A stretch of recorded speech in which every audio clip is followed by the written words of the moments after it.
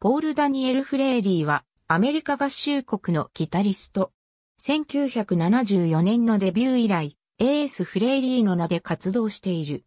ロックバンド、キスの創設メンバーでリードギターを務め、1973年のバンド設立と共に参加し、1982年に脱退した。キスからの脱退後はソロ活動を行っていたが、1996年にオリジナルメンバーでの再結成ツアーに参加、大成功を収めた。2002年のフェアウェルツアー終了とともに再結成キスから脱退。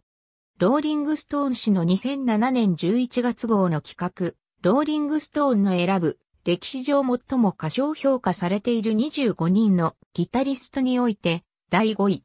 身長185センチメートル。ニューヨーク市ブロンクス出身。父カールと母、エスターのもと、3人の兄弟の三男として誕生。若い頃は、ニューヨークのストリートギャング、ダッキーズに、スティーブン・エドワード・ダレンと共に加入していた。フレーリーの家庭は、音楽一家で、1964年に、クリスマスプレゼントとして、エレクトリックギターをもらうと、フレーリーはギターの練習に夢中になった。後に、フレーリーは影響を受けたギタリストとして、ピート・タウンゼンとジェフ・ベックを挙げている。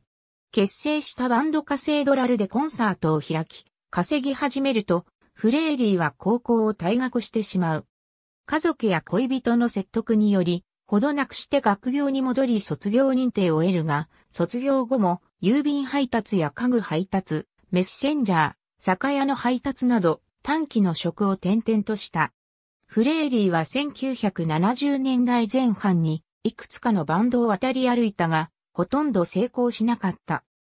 1973年1月に、ポール・スタンデー、ジン・シモンズ、ピーター・クリスの3人が、ザ・ビレッジ・ボイス氏にロックバンドのメンバー募集の広告を出していると知り、親友のボブ・マクアダムスとニューヨーク市東23、ストリート10番地にあるライブベートバーでオーディションを受ける。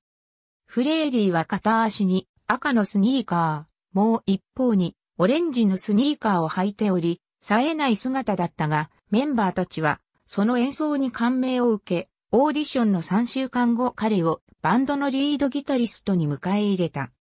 1973年中頃までには、まだ名前のなかったバンドの名前をキッスに決定。特徴的な二つの稲妻状の形をかたどったロゴマークはフレリーのデザインによる。さらにバンドはすぐにライブパフォーマンス用に顔のペイントを施すことを決め、フレーリーはシルバーの星を目の周りにかたどった。その後、各メンバーのキャラクター設定も顔のペイントに応じたものとし、フレーリーはジェンダル星からやってきた宇宙からの訪問者スペース、エースというニックネームを得る。これがエースというニックネームの始まりである。バンドの初期には空席のクラブでリハーサルと演奏を繰り返す傍ら、フレーディはパートタイムでタクシードライバーをしていた。しかし、1973年9月に新しいマネージャー、ビル・オコインから書くメンバーあたり週に75ドルの給料を得られるようになると兼業をやめた。キスはデビューアルバム、キスファースト地獄からの死者を1974年2月にリリースした。フレーリーの単独作曲作、コールド・ジンも収められていた。フレーリーは自身の歌声に自信を持てなかったため、ボーカルはベースギターのジン・シモンズが務めた。フレーリーは移行数年にわたって単独もしくは共同でバンドの楽曲を制作していったが、1977年リリースのラブガンにおけるショックミーに至るまで自身の歌声をレコーディングすることはなかった。リードギタリストとしてのフレイリーは荒々しくも情感的な演奏で知られ、1970年代の最も人気のあるギタリストの一人となり、多くの新世代プレイヤーたちに影響を与えた。書籍、キス、ビハインド・ザ・マスクの中で、フレイリーは多くのギタリストたちにヒット作、地獄の今日重キスライブでのフレイリーの演奏がギターを取るきっかけになったと言われたという経験を披露している。メインギターは当初ギブソンファイヤーバードだったが、デビュー後はハムバッカーを3個搭載したギブソンレスポールに変えている。他の3名のキスのメンバーと共に、フレイディは自身の名を冠したソロアルバムを1978年にリリースした。このアルバムはメンバーたちのソロアルバムの中で最も売れた作品となり、アルバムから収録曲からのシングルは全米トップ20に達した。1979年にはフレディの作曲面での存在感はグループ内でも増してきて、1979年発表の地獄からの脱出には2曲のオリジナル曲と1曲のカバー曲を、1980年発表の仮面の正体には3曲のオリジナル曲を提供した。しかしこの間、商業面ではキッスは、米国内での全盛期とは遠く、他の諸国に活動の場を移し始めていた。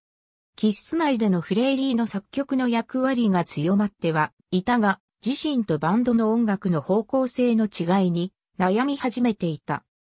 1980年にピーター・クリスがキスを脱退すると、代わりに加入したドラマーのエリック・カーは正式メンバーとならず、賛否をつけられなかったため、フレイリーはしばしばバンドでの方針決定をする際にに、対一で多数決の少数側となることが多くなった。1981年のエルダー魔界大決戦のレコーディングでは、以前のアルバムよりもフレイリーの参加はさらに限られたものとなっていた。その理由は大きくは、フレイリーが普通のロックアルバムではなく、コンセプトアルバムを作るというバンドの方針に不満を感じていたためであった。さらに状況を悪化させたのは、フレディの気まぐれな行動と薬物の乱用であった。1982年4月に彼は深刻な自動車事故を起こした。5月にはブロンクスリバーパークウェイにおいて時速 145km の運転で警察とのカーチェイスを繰り広げた。この事件で600ドルの罰金と6ヶ月の運転免許停止処分を受けた。フレーリーは1982年発表のベストアルバム、キスキラーズ及び同年発表のスタジオアルバム、暗黒の神話のジャケットに顔を出したものの、両作品の制作には関わらなかった。フレーリーのバンドとの共演は、有志の叫び用のビデオ、1982年11月のヨーロッパでのプロモーション活動、そして1983年初頭のバンドの世界ツアーのプロモーション用に MTV のバンドインタビューに出演したのが最後であった。1983年3月時点で、フレーリーはすでにキスの正式メンバーではなくなっていたが、1984年半ばまでキスの契約上の4分の1のシェアを有していた。法的並びに金銭的な問題を避けるため、彼はこの契約が切れるまでソロ活動を始めなかった。1984年にフレーリーはキッス脱退後のソロ活動としてドラマーのアントン・フィグを含むメンバーを迎えてバンドを結成した。エースと1980年に面識を得ていたベーシストのジョン・レーガンもこのバンドの結成メンバーとなった。バンド名としてはエース・フレーリー、もしくはフレイリー、エスコメットの名を用い、1984年から1985年にかけて一連のデモ作品を録音した。レコーディング契約の獲得に何度か失敗した後、グループはメガフォースレコードと契約し、フレーリーズコメットと題するアルバムを1987年7月7日にリリースした。このアルバムはエディ・クレーマーとの共同制作で発表した。フレーリーズコメットの発表前にはアントン・フィグがバンドを脱退し、デイビッド・レターマンのテレビ深夜番組用のスタジオドラマーに転向したものの、アルバムでは演奏を行っている。また彼は、フレディのバンドが Y&T と売学での契約に成功すると、1987年の米国でのツアーにも参加した。このツアー時には、当時まだ新人バンドだったホワイトライオンがオープニングを務めた。フレーディーズ・コメットは、ハードロックとポップメタルを合わせたような作品で、フレイリーを音楽シーンに引き戻す成功をもたらした。このアルバムは、ビルボード200で最高43位を記録し、約50万枚を売り上げ、シングル曲、ロックソルジャーズは、メインストリームロックトラックスのチャートで最高27位を記録した。ロックソルジャーズはフレーリーの自伝的楽曲で一部には彼の1982年4月の交通事故についても触れている。ロックソルジャーズのビデオは MTV で中程度の放送を受け、特に MTV ヘッドバンガーズボールでよく流された。好評な評論と好調なアルバムの売り上げにもかかわらず、AS は大きな商業的成功を保てなかった。1988年発表のフレーリー、エスコメットの2つのアルバム、ライブ EP、ライブプラス1と2枚目のスタジオアルバム、セカンドサイティングは、それぞれ84位、81位に終わった。アリス・クーパー、アイアン・ベーデンそれぞれのサポートに回った2回のツアーは、早々と終了し、どちらの場合でも報酬が払われなかったとバンドは不満を口にした。バンドの商業的成功に向けて、起死改正を図るため、彼は、フレーリー、エスコメットの名を辞め、1989年にトラブルウォーキンを自身の名で発表した。トッド・ハワースはアルバムのレコーディング前に脱退を決め、リッチー・スカーレットが公認となった。より伝統的なハードロックスタイルに戻ったものの、トラブルウォーキンは売り上げを盛り返すことはなく、最高100人に終わった。この時期にソロ、日本公演を果たす。ライブハウスモンスターと川崎クラブチッタで行われ、本人が PC グラフィックで制作したアートワークとデモ音源をその場でプリントし会場で限定販売された。トラブルウォーキンの特筆すべき点は、ピーター・クリスのゲスト参加であり、ニヤング2代のボーカルを務めた。クリスとフレーリーの共演は、1987年にロサンゼルスでのフレーリー、エスコメットのライブに少しだけ顔を出し、デュースのアンコールでドラムを叩いて以来だったが、アルバム作品での共演となると、キスの1979年のアルバム、地獄からの脱出以来のことであった。フレーリーがキスとは1980年代を通じて、プロモーション面でのつながりとしての関係であったのに、対し、クリスとフレーリーの関係はこの期間において比較的良好な関係を保っていた。1995年6月にはフレディのバンドとクリスのバンドがバッドボーイズツアーで共演した。このライブではフレーリーとクリスが最後に共に現れ、ナッシングトゥルーズとロックンロールオールナイトを演奏してコンサートを終えていた。バッドボーイズツアーの開始から数ヶ月して、フレーリーとクリスはキスと共に1995年8月8日の MTV アンプラグドで共演した。これは1979年のダイナスティツアー終了以降、公の場で、キッスのオリジナルメンバーの初共演となった。ファンの期待は相当強く、完全な再結成があるとの噂が瞬く間に広まった。12月までには再結成のための契約が取り交わされたが、その時点で公式発表はなかった。1996年1月にフレーディは再結成に備えて形成外科手術を受けた。1996年2月28日、キッスのオリジナルメンバーが、そのメイクアップとコスチュームでグラミー賞会場に現れ、スタンディングオベーションを受けた。4月16日にイントレピッド上でプレス発表を行い、キッスは再結成とツアーの計画について公式発表を行った。アライブ、ワールドワイドツアーは6月28日のミシガン州、デトロイトのタイガースタジアムで開幕した。ツアーは1997年7月で終わり、4360万ドルに及ぶ想像以上の商業的成功をもたらした。再結成キッスは1998年9月にサイコサーカスを発表した。アルバム中のフレーリー唯一の制作曲、Into the Void は続くツアーにおいても演奏された。サイコサーカスツアーが1998年11月12日に始まった。さらにこのツアーに引き続き、2000年3月からはフェアウェルツアーを開始した。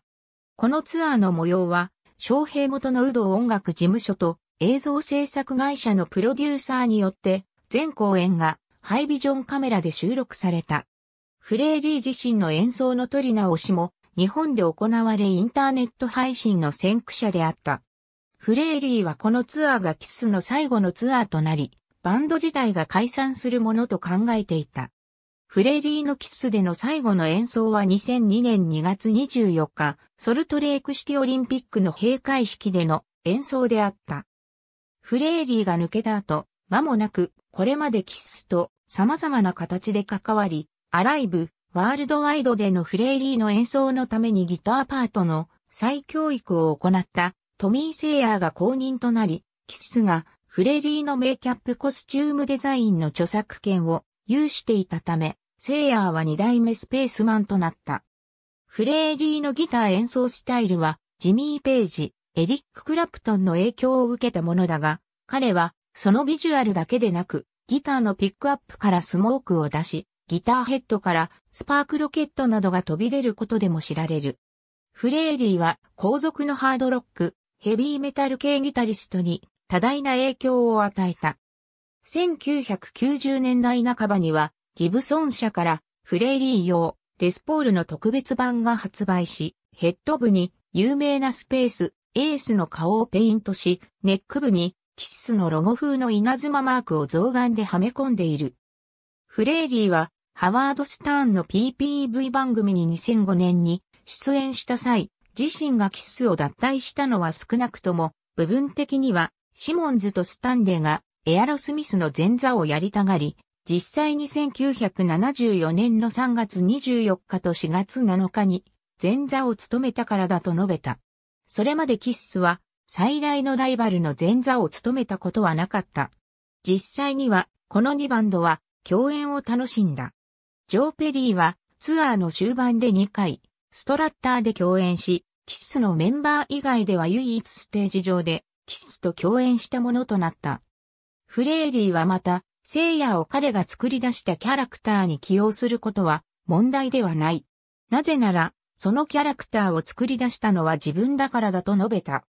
フレーリーは、スターンの番組に、自身の映画、レムディの DVD リリースについて話をするつもりで出演したが、スターンは、キッスの話をし続けたため、フレーリーのマネージャーが番組に電話し、キッスに対する言及は、エースを立腹させると述べた。